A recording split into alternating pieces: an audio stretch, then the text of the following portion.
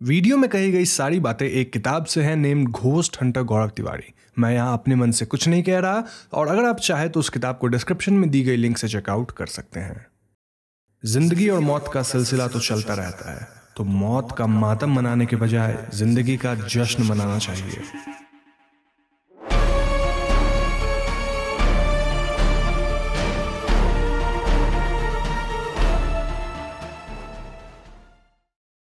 अब तक तो शायद आप सबको पता होगा कि Gaurav sir India paranormal society, यानी आईपीएस के फाउंडर और सीईओ थे। लेकिन क्या आप जानते हैं कि इन सबसे पहले वो पायलट बनना चाहते थे? जी हाँ पढ़ाई के लिए वो अपने दोस्तों के साथ फ्लोरिडा में रहते थे और उन्हें पैरानॉर्मल में कोई खास रुचि थी भी नहीं। लेकिन फिर एक रात कुछ ऐसा होता है जिससे सब बदल गया। उस रात गौरव के दोस्त बाहर पार्टी करने गए थे और वो अकेले अपने कमरे में सो रहे थे। रात के ठीक तीन बजकर पाँच मिनट पर उन्हें अपने कानों में किसी के पुकारने की आवाज़ सुनाई देती है। गौरव! कुछ देर बाद फिर से वही आवाज़ आती है और उसे सुनकर ऐसा लग रहा था जैसे कोई दर्द में उन्हें पुकार रहा हो। अंधेरे कमरे में गौरव को जब ये आवाज़ दो बार सुनाई दी तो उन्होंने हड़बड़ा कर अपने दोस्तों को फ़ोन करना चाहा। लेकिन जब उन्होंने लैंप ऑन करके अपना फ़ोन ऑन करने की कोशिश की तो उन्होंने पाया कि फ़ोन की बैटरी डेड हो चुकी थी। गौरव के लिए ये आश्चर्यजनक था क्योंकि उन्होंने फ़ोन चार्ज पे रखा हुआ था। अभी वो ये सब सोच ही रहे थे कि उन्हें बाहर किसी के तेज कदमों की आवाज़ सुनाई देती है। कोई तो ड्राइंग रूम में लगातार चल रहा था और एक औरत की आवाज़ उन्हें पुकार रही थी। ये रात तो गौरव ने किसी तरह अपार्टमेंट के लॉबी में बैठकर काट ली, लेकिन आने वाले कुछ दिनों में इस अपार्टमेंट में और भी कई घटनाएँ होने लगी। एक रात जब गौरव और उनके दोस्त साथ में डिनर कर रहे थे, तब अचानक से घर की सारी खिड़कियों पर किसी के स्क्रैच करने की आवाज़ें आने लगी। सभी घबरा गए, लेकिन आवाज़ तेज होती गई।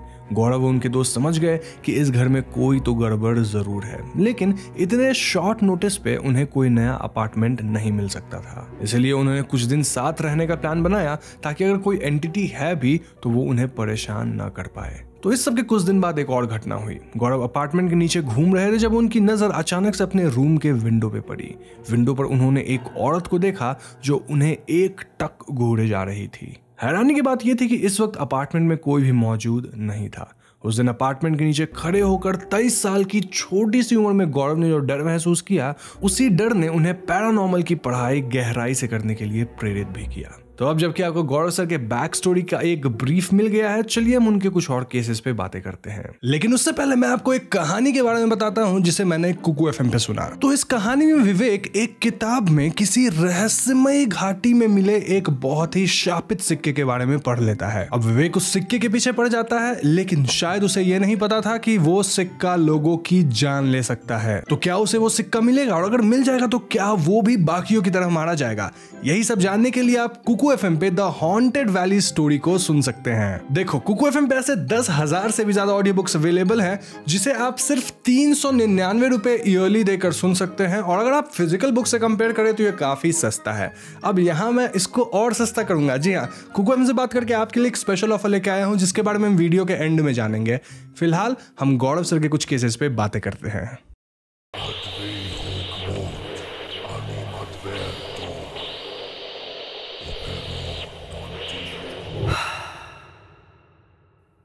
एराडेल मेंटल हॉस्पिटल या एराडेल लुनेटिक असाइलम ये मेलबॉर्न से करीब दो घंटे की दूरी पर बसे शहर अरारात का जाना माना अस्पताल है। इस जगह को 1860 के दशक में बनवाया गया था और कहा जाता है कि यहाँ मेंटली चैलेंज्ड या ट्रॉमेटाइज लोगों की देख रेख और उनका इलाज किया जाता है। अब ये तो रही कहने की बात, लेकिन अरारत के लोगों की माने तो ये जगह कोई अस्पताल नहीं, बल्कि एक तरह का जेल था, जहाँ ऐसे लोगों को भेजा जाता था जिनसे उनके परिवार वाले अपना पिंड छुड़ाना चाहते हो। अब ऐसा इसलिए हो सकता है क्योंकि मे बी कोई इंसान बहुत बीमार है, जिसका कोई इलाज नहीं तो भाई उसे वहाँ रख दो। या फिर कोई मेंटली चैलेंज है, उसे फैमिली में नहीं रखना है तो उसे वहाँ डाल दो। या फिर कोई ऐसा इंसान जिसे धीरे धीरे इस दुनिया की तस्वीर से मिटाने का ख्याल किसी के मन में आता है तो वो उन्हें इसी जगह पर भेज दिया जाता है। अब ये अस्पताल ऐसी जगह थी जहाँ अगर कोई मेंटली अनस्टेबल नहीं भी है तो उसके साथ ऐसा सलूक किया जाता था कि वो सच में मेंटली अनस्टेबल हो जाए। इस अस्पताल में मरीजों की स्थिति बहुत खराब कर दी जाती थी। लोगों को बिना खिड़की और वेंटिलेटर्स वाले छोटे छोटे कमरों में कैद कर दिया जाता था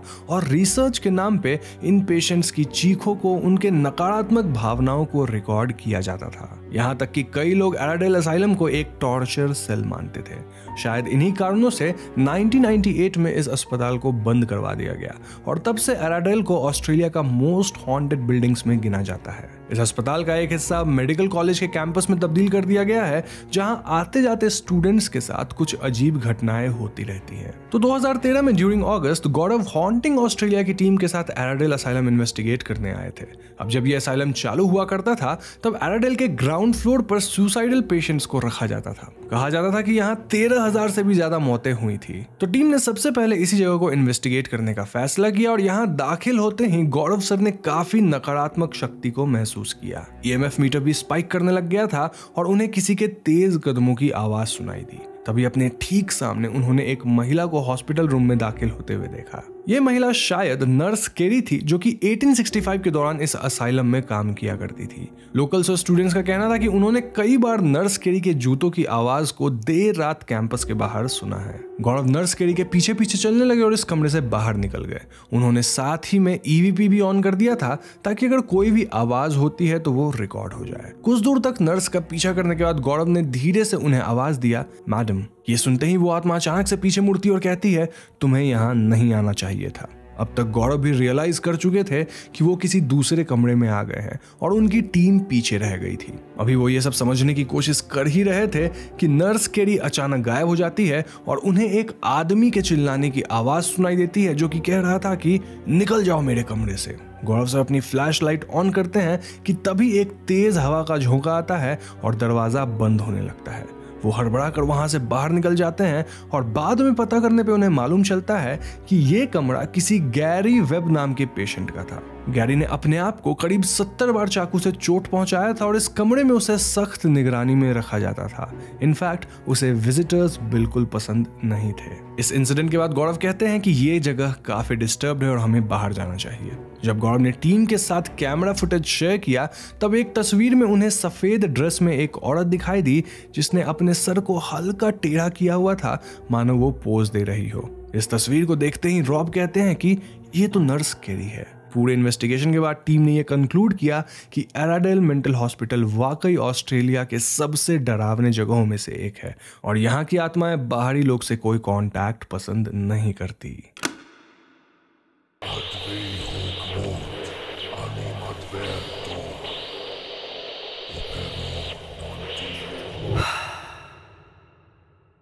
फ्रांसिस क्लूनी की मौत एडिलेड आर्केड में 21 जून 1887 को हुई थी। प्रिलिमिनरी इन्वेस्टिगेशन में भले ही मौत की वजह एक्सीडेंट बताई गई हो, मगर लोगों की माने तो क्लूनी एक साजिश के शिकार हुए थे। 21 जून के ठीक दो दिन पहले उन्होंने दो लड़कों को काम से निकाला था और लोगों का मानना है कि उन्हीं लड़कों ने क्लूनी को इंजन रूम में धकेल दिया ताकि वो मशीन के एक्सीडेंट में मारे जाए। फ्रांसिस क्लूनी के अलावा इस एरिया में कई एक्सीडेंट्स और घटनाएँ हुई थी। फॉर एग्ज़ाम्पल 1904 में यहाँ फ्लोरेंस हॉटन नाम की औरत को उसके पति ने जान से मार दिया था। और इतना ही नहीं, सिडनी नाम के एक तीन साल के बच्चे को उसकी माँ ने गैस से पॉइजन करके मार डाला था। अपने बच्चे की मौत के बाद सिडनी की माँ ने यहीं ऊपर के लिविंग क्वार्टर्स में खुद को भी मार डाला था। अब दोस्तों, जहाँ पर आर्केड का इंजन रूम हुआ करता था, वहाँ अब एक लॉन्ड्रोमैट खोल दिया गया है। मैनहैटन ड्राई क्लीनर्स नाम के इस लॉन्ड्रोमैट का मालिक का कहना है कि एक रात जब वो अपना काम खत्म करके स्टोर लॉक कर रहा था तो उसे एक 50-60 साल का बूढ़ा आदमी कोने में खड़ा दिखाई दिया। उन्होंने बताया कि उसे मालूम है कि ये क्लूनी की ही आत्मा थी। जब वो इस आत्मा के पास पहुँचा, तब अचानक ही क्लूनी गायब हो गया और उसे किसी के ज़ोर ज़ोर से हंसने की आवाज़ सुनाई दी। इस जगह पे कई बार अजीबोगरीब घटनाएँ होती रहती थी। कभी आसपास का टेम्परेचर बहुत गिर जाता था तो कभी चीज़ें गायब हो जाती थी। एक बार जब इलेक्ट्रिशियन मॉल में कुछ काम कर रहा था तो उसे अपने ठीक पीछे किसी के कदमों की आवाज़ सुनाई दी। जब वो पीछे मुड़ा तो अचानक आसपास ठंड बढ़ने लगी और कुछ देर बाद सब नॉर्मल हो गया। एक औरत ने बताया कि वो अपने बच्चे के साथ यहाँ आइसक्रीम खा रही थी, जब अचानक बच्चा एकदम सीरियस हो गया और कहने लगा, तुमने मुझे क्यों मारा? मुझे बहुत दर्द महसूस हुआ था। अपने बेटे के मुँह से ये बातें सुनकर वो औरत बिल्कुल घबरा गई, लेकिन अगले ही पल उनका बेटा शांत हो गया और उसे पिछली कुछ मिनटों की कोई बात याद नहीं थी। तो 2013 में गौरव और हॉन्टिंग ऑस्ट्रेलिया की टीम को आर्किड इन्वेस्टिगेट करने के लिए बुलाया गया था। इस बार टीम में गौरव के साथ इयान लॉमेन थे जो कि यूके के साइकिक एग्जॉसिस्ट थे। उसके अलावा रे जॉर्डन थे जो कि पैरानॉर्मल इन्वेस्टिगेटर थे। Then Allan Taylor who a paranormal researcher Rob Demarest who a leading investigator from USA and finally Raelene Cable जो कि मीडियम थे। आर्केड शाम को सात बजे कस्टमर्स के लिए बंद कर दिया जाता था और बंद होने के बाद हॉन्टिंग ऑस्ट्रेलिया की टीम यहाँ पहुँची। टीम ने अपनी एक्टिविटीज़ प्लान कर ली थी और गौरव ने बेसमेंट एरिया को पहले इन्वेस्टिगेट करने का डिसाइड किया। उन्होंने ईएमएफ मीटर और कैमरा ऑन कर दिया ताकि ज़्यादा से ज़्यादा फुटेज रिकॉर्ड करी जा सके। अब जैसे ही गौरव क्लूनी को पुकारने लगे, वहाँ मौजूद कैमरा और इलेक्ट्रॉनिक डिवाइसेस की बैटरी डेड होनी चालू हो गई। उन्होंने नई बैटरीज लगाई, लेकिन फिर से बैटरी ड्रेन हो गई। ऐसा लग रहा था मानो हर सवाल के साथ उनकी बैटरी खत्म होती जा रही थी। तभी अचानक से उन्हें वहाँ कुछ अजीब आवाज़ें सुनाई देती है। गौरव फ़ौरन ईएमएफ मीटर में लगी एलईडी लाइट्स की मदद से क्लूनी की आत्मा से इंटरेक्ट करने लगते हैं। इन्वेस्टिगेशन के बाद टीम एक कमरे में इकट्ठा हुई ताकि एविडेंस वगैरह एनालाइज किया जा सके। गौरव ने बताया कि उन्होंने ब्राइडल शॉप के पास एक छोटे बच्चे की आत्मा को महसूस किया है। कैमरा में चेक करने में पाया गया कि वहीं कोने में एक सफ़ेद आकृति के रूप में एक लड़का खड़ा था जो किसी से बेहद डरा हुआ था। ये बच्चा शायद सिडनी था, जो कि मरने के बाद भी अपनी माँ की आत्मा से डर रहा था। वो इस वक्त किसी से छुपने की कोशिश कर रहा था और इस इन्वेस्टिगेशन से टीम को पता चला कि यहाँ की आत्माएँ भले अपने आप को दिखाना नहीं चाहती। लेकिन सही मीडियम होने पे वो इंटरैक्ट करके लोगों को अपनी बात बताना चाहते हैं। मोर ओवर यहाँ आत्माएँ हैं।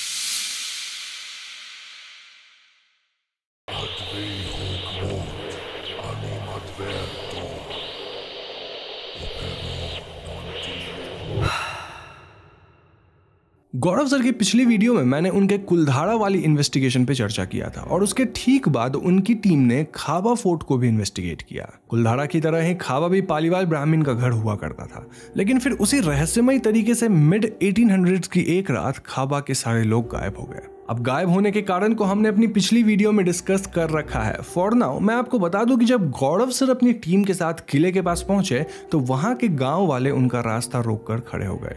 गाँव वालों का कहना था कि यहाँ कोई भूत प्रेत नहीं है तो प्लीज़ हमारे गाँव को बदनाम मत करो। स्थिति देखकर सबने तय किया कि लोकल पुलिस वगैरह की मदद लेकर वो कल यहाँ दोबारा आएँगे और तब तक पास ही के एक होटल में आराम लेंगे। होटल में राज और गौरव से से मिलने एक आदमी आया जिसने अपना नाम निशांत भदौरिया बताया। निशांत का कहना था कि वो जानते हैं कि गौरव सर पैरानॉर्मल इन्वेस्टिगेटर होने के साथ साथ एक पहुँचे हुए पास्ट लाइफ रिग्रेशनिस्ट हैं। और इसीलिए वो अपने बेटे के लिए गौरव सर की मदद चाहते हैं। अब जिन्हें पास्ट लाइफ रिग्रेशनिस्ट नहीं पता, उन्हें बता दूँ कि पीएलआर एक ऐसी तकनीक होती है जिसमें हिप्नोसिस वगैरह का इस्तेमाल करके एक इंसान की सबकॉन्शियस ट्रॉमा का इलाज किया जाता है। ऐसे ही कई सेशंस में लोग अपने पिछले जन्म की बात करने लग जाते हैं और इस पिछले जन्म वाले पूरे केस पे मैंने ऑलरेडी एक वीडियो बना रखा है। एनीवेज भदौरिया कहते हैं कि उनका बेटा तरुण, जो कि अभी केवल आठ साल का है, वो बहुत ही ज़्यादा गंभीर है। बचपन से ही उसे सोते हुए कोई भयानक सपने आते हैं, लेकिन वो कभी बता ही नहीं पाता कि उसने सपने में क्या देखा है। लेकिन उठने के बाद उसकी शिकायत रहती है कि उसे बहुत बुरा महसूस हो रहा है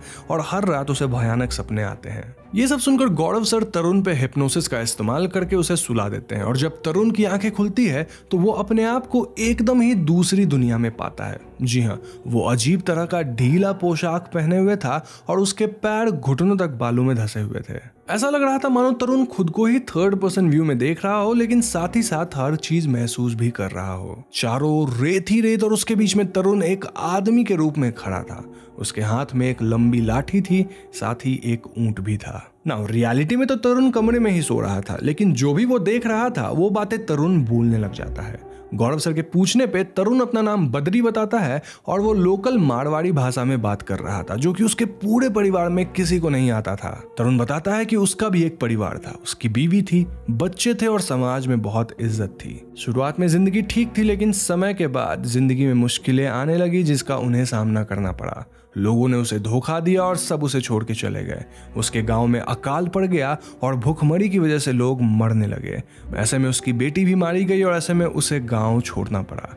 उसकी खुद की जान भी इसी वजह से गई। ये बातें सुनकर गौरव श्योर थे कि तरुण ज़रूर से अपने पिछले जन्म की बातें बोल रहा है और उस जन्म में वो बदरी हुआ करता था। ऐसे में वो तरुण से पूछने लगते हैं कि वो किस जगह पे है और तभी अचानक ही गौरव खुद को खाबा फोर्ट के पास पाते हैं। जी हाँ नाउ दिस वॉज़ इम्पॉसिबल क्योंकि वो तो होटल रूम में थे और तभी उन्हें अपने पीछे से बदरी की आवाज़ आती है जो कहता है कि हम यही रहते थे बाप जी इस पॉइंट पे गौरव समझ चुके थे कि सम वो भी तरुण के कॉन्शियसनेस का हिस्सा बन चुके थे। गौरव सर ने गौर किया कि आसपास का माहौल कुलधारा से काफ़ी मिलता था। फ़र्क बस इस किले का था जो एक पहाड़ी पर बना था। इस काल में खाबा काफ़ी समृद्ध दिखाई दे रहा था और आसपास एक से एक घर, सुंदर नक्काशियाँ, गड़ी हुई मूर्तियाँ और कई आलिशान किले बसे हुए थे। तभी अचानक से बारिश होने लगती है, लेकिन गौरव अपनी जगह से हिल भी नहीं पाए। मानो कोई अदृश्य शक्ति उन्हें उसी किले पर खड़ा रखना चाहती थी। ऐसा शायद इसलिए क्योंकि यहाँ से सारा गाँव साफ़ साफ़ दिख रहा था। फिर बद्री कहने लगता है कि पहले ऐसे ही यहाँ बारिश होती थी। ये गाँव काफ़ी समृद्ध था लेकिन धीरे धीरे बारिश बंद हो गई। यहाँ के कुएँ सूखने लगे और पानी की दिक्कत आने लगी। इसके अलावा यहाँ का दीवान सलीम सिंह इन्हें बहुत प्रताड़ित करने लग गया था। उसकी नज़र सरपंच की बेटी पे थी और ऐसे में गाँव वाले मिलकर उसका सामना किया आई I मीन mean, उसके सैनिकों का सामना किए। 1845 तक यहाँ सिर्फ़ 70 लोग ही बचे थे, क्योंकि बाकी लोगों ने गाँव को छोड़ दिया था। और फाइनली ये 70 लोग भी यहाँ से निकलने का सोचे।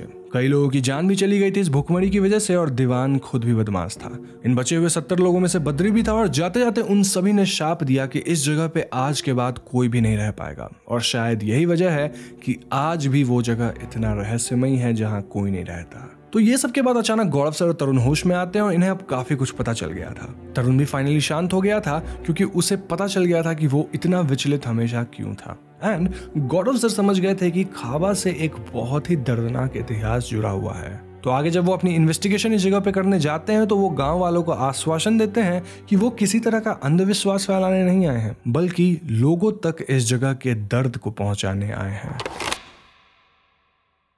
अब गौरव सर की अनफॉर्चुनेट मृत्यु के बारे में तो हम सबको पता है और यहाँ मैं आपको बता दूँ कि उनके टीम ने उनसे कई बार कॉन्टैक्ट भी करा है आफ्टर हिज डेथ ऐसे में उन्हें शायद गौरव सर के मौत की वजह भी पता हो। लेकिन वो इसके बारे में दुनिया को बताना नहीं चाहते। ना हर इंसान की तरह उनके निजी ज़िंदगी में कुछ प्रॉब्लम्स थी जिनके बारे में किताब में थोड़ा ज़िक्र किया गया है। लेकिन मैं यहाँ उन बातों को वीडियो में डिस्कस नहीं करूँगा, क्योंकि आई फील कि दैट इज़ पर्सनल यहाँ मैं बस उनके काम पे ही बात करने आया था और पिछले तीन वीडियोज़ में मैंने ऐसा ही कुछ किया है जहाँ मैंने उनके काफ़ी सारे केसेस को कवर किया। मेरे तरफ़ से ये गौरव सर पे फाइनल वीडियो है। ऑल मैं एक टॉपिक पे वीडियो बना सकता हूँ विच इज़ कैसे लोगों ने गौरव सर से कांटेक्ट करने की कोशिश करी है, उनके मौत के बाद। तो उस वीडियो में मैं तभी काम करूँगा जब इस वीडियो पे एटलीस्ट 75 के लाइक्स आने चाहिए। आई नो आज तक का सबसे बड़ा टारगेट है बट आई नो आप लोग कर दोगे और तभी मैं काम शुरू करूँगा। और हाँ यहाँ मैं आपको फिर से बता दूँ कि मैं कुछ भी अपने मन से बनाकर नहीं बोल रहा, सब किताब में लिखा हुआ है। अब इनको मानना या ना मानना, ये आपके ऊपर है। मेरा अपना कुछ पर्सनल ओपिनियन है जो कि मैं शेयर नहीं करूँगा।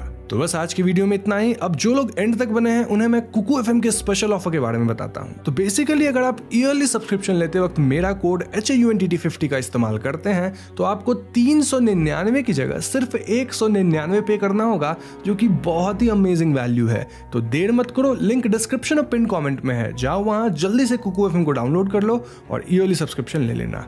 हैप्पी लिसनिंग ना वीडियो पसंद आए तो लाइक और शेयर करना मत भूलिएगा। और हाँ जाने से पहले हमारे चैनल हॉन्टिंग ट्यूब को सब्सक्राइब करके बेल आइकॉन को ज़रूर दबा दें, क्योंकि हम अपने चैनल पर ऐसे वीडियोज़ लाते रहते हैं। पीस